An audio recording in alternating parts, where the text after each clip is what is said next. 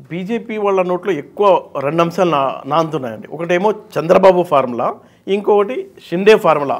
ఈ రెండు ఫార్ములాలతో తెలంగాణలో బీజేపీ త్వరలో అధికారంలోకి రాబోతుంది అన్న ప్రచారం జరుగుతుంది.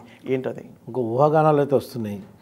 రేపు ఎంపీ ఎలక్షన్ తర్వాత ఉన్నటువంటి బీఆర్ఎస్ కార్యకర్త ఎమ్మెల్యేలందరూ కూడా బీజేపీలో జాయిన్ చేసుకొని ఒక అవిశ్వాసం తీర్మానం పెట్టి మళ్ళీ కాంగ్రెస్లో కొంచెం మంది తీసుకొని మళ్ళీ బీఆర్ఎస్ ప్రభుత్వం ఏది బీజేపీ ప్రభుత్వం తెలంగాణలో ఏర్పాటు చేయాలని ఒక వ్యూహం పంతున్నట్టు సమాచారం బయటకు వచ్చింది. కానీ ఇప్పుడు ఇరవై ఆరు మంది ఎమ్మెల్యేలు కాంగ్రెస్లోనే జన జాయిన్ కాబోతున్నారు కదా.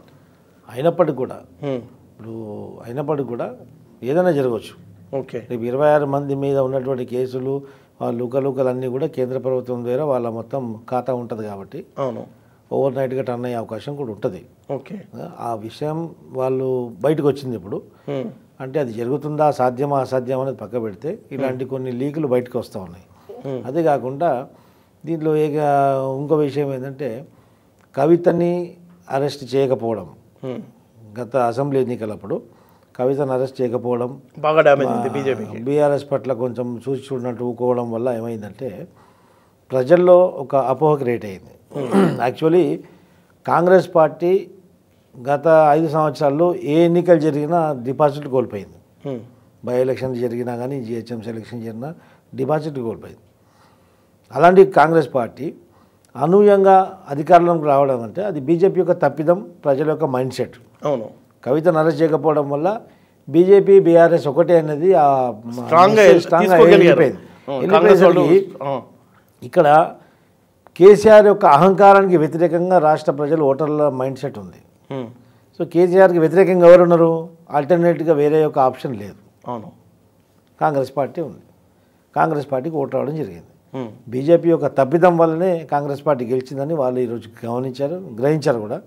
అందుకని చెప్పేసి మళ్ళీ రేపు కవితను ఇట్లా పెడితే మళ్ళీ మీద అబండాలు వస్తాయని చెప్పి కవితను తీసుకొని లోపల పడడం జరిగింది. ఓకే. సో బీజేపీ మీద ఇప్పుడు సానుభూతి వస్తుందా? బీజే బీఆర్ఎస్ మీద సానుభూతి వస్తుందా లేదా పక్క పెడితే.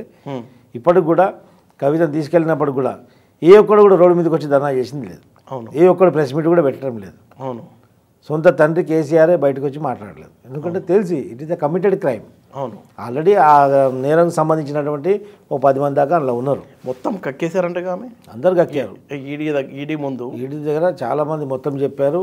ఇంకొకటి ఆల్రెడీ కవిత కూడా మొత్తం చెప్పేసింది అని. ఆల్రెడీ ఆడ చెప్పిస్తారు. వాళ్ళకి చెప్పించే తరీకాలు చాలా ఉంటాయి వాళ్ళకి. వాళ్ళ పద్ధతులు చాలా ఉపయోగించవచ్చు థర్డ్ డిగ్రీ కూడా పెడతారేమని భయపడుతూ ఆమె కోర్టును కూడా ఆశ్రయించినట్టు అన్నీ అవును. ఇప్పుడు ఆ యొక్క ఈడీ అనేది స్వయం ప్రాతిపదిక కలిగినటువంటి వ్యవస్థ అది. ఒక ముద్దాయి దగ్గర నుంచి ఒక నేరస్తుల దగ్గర నుంచి ఏ విధంగా సమాచారం రావడంలో వాళ్ళు ట్రైన్ అయి ఉంటారు కదా. అవును. సో ఖచ్చితంగా వాళ్ళు అన్ని సమాచారం తీసుకుంటారు. ఈ ఫోన్ డేటా కూడా దాదాపు ఎనిమిది సంవత్సరాల ఫోన్ డేటా వస్తుంది. ఆ ఫోన్ డేటా ఫోన్లు అన్నీ దొరికినాయి. అంతేందుకు? ఇదే కేసులో మనీ లాండరింగ్ కేసులో లోపల ఉన్నటువంటి ఒక వ్యక్తి హ్మ్. నా పేరు గుర్తు రావట్లేదు లోపల ఉన్నటువంటి వ్యక్తి ఒక లెటర్ బయటికి రాశాడు. అవును క్లబ్కి రమ్మని. Welcome to T R club మీకు అరేంజ్మెంట్ చేస్తాం రండి అని చెప్పేసి. అవును. నేను చెప్పిన ప్రతి ఒక్కడు కూడా బయటకు వచ్చి నిజాలు అవుతున్నాయి కదా హ్మ్. నన్ను నమ్మలేదు మీరు అని చెప్తున్నారు. ఆడు deputy chief minister Delhi deputy chief minister Sisodia Sisodia లోపలే ఉన్నాడు. ఇట్లా చాలామంది ఉన్నారు కదా. అవును. ఈ యొక్క కార్యక్రమంలో ఈ యొక్క నేరంలో కవిత యొక్క పాత్ర కీలకమైంది అంటే సౌత్ గ్రూప్ కంపెనీ అనేది కీలకమైనది తెలుసు. అవును. Singapore Malaysia. సింగపూర్ మలేషియా పొరుగు దేశాలకు.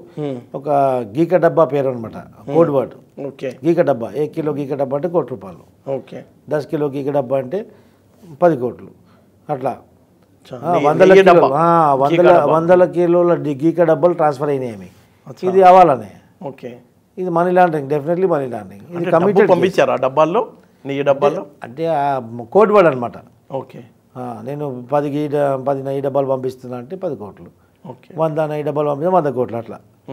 సో వందలాది వేలాది కోట్లు ఆమె హవాలా ద్వారా ట్రాన్సాక్షన్ చేసినట్టు వాళ్ళకు సమాచారం వచ్చింది. మొత్తం సాధారణలు కూడా దొరికినాయి. అవును. ఇప్పుడు కవిత బయటికి రావడం కష్టమే. బహుశా ఈ రోజు బతుకమ్మ పండుగ మన బతుకమ్మ లేకుండా చేసుకోవాలి.